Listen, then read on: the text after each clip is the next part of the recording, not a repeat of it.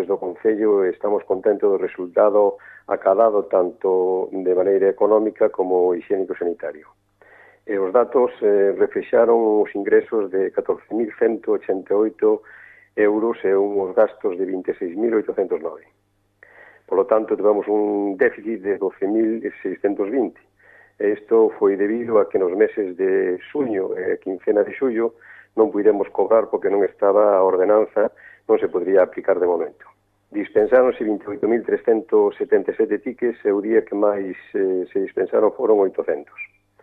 Eh, os gastos máis importantes, ou digamos, casi na totalidade,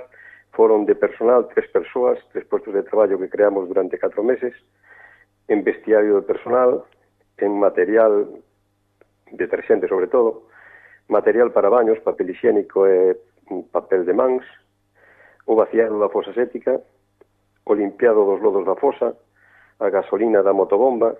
os tiques, un panel informativo que puxemos eh, frente aos baños,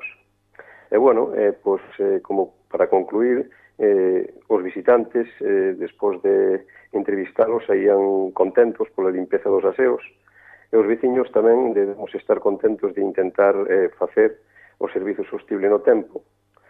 A verdade é que non temos beneficios, xa non contábamos con eles, pero tampouco temos deudas. Desde logo, desde o Concello, queremos agradecer tanto á Deputación como a Costas do Estado pola subvención tanto dos baños como da fosa sética respectivamente.